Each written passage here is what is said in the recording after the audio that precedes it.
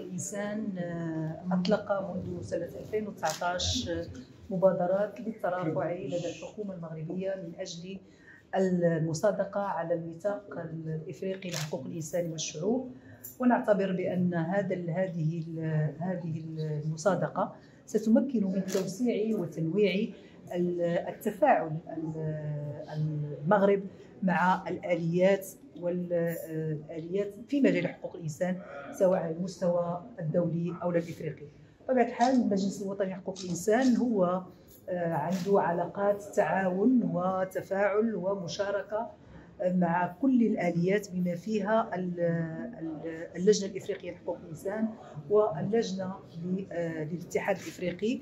بحضوره في عدد من الأنشطة وكذلك في تقديمه لعدد من المعلومات بخصوص وضعية حقوق الإنسان في المغرب بطبيعه الحال ندوة اليوم منظمة من طرف المجلس الوطني لحقوق الإنسان بالتعاون مع اللجنة الإفريقية لحقوق الإنسان والشعوب. ترتكز على الترافع على قضية مسابقة المغرب على الميثاق الإفريقي لحقوق الإنسان والشعوب. وبالتالي ما هي التحديات وما هي الفرص التي يمكن أن يتيحها عملية المسابقة على هذا الميثاق من زاوية أولا آه، إطراء الترسانة القانونية الوطنية والانفتاح على الاتفاقيات دول حقوق الإنسان إن على المستوى الوطني الإقليمي والدولي.